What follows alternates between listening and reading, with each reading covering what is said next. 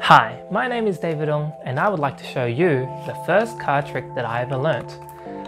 Now this trick I learnt many many years ago when I first started Magic and it uses two cards. These are the two sandwich cards, which will make sense both now and later on when we use them. I also need a card selected.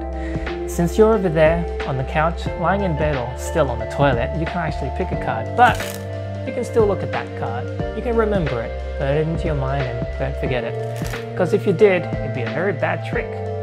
Now I can't see what the card is because, well, I'm over here recording on the back of my phone and not on the front camera. But these sandwich cards, they're going to be able to work out what card you're picking is. Your picking is, you selected. What they'll do is they'll go through the pack up and down until they sandwich one card.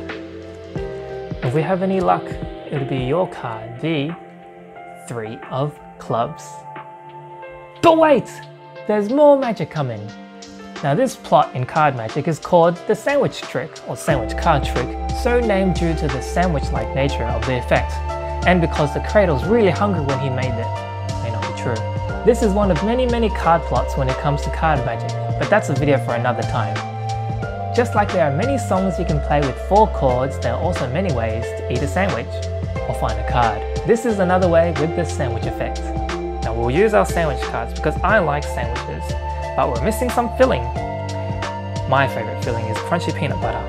If I take these cards and give the deck a tap, one card comes up to the top, and that happens to be crunchy peanut butter. Now give this video a like if you enjoy peanut butter or are severely allergic to it.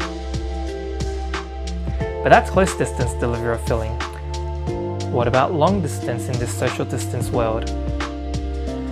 Or if we lose the filling back into the pack and we utilize the sandwich cards to help us,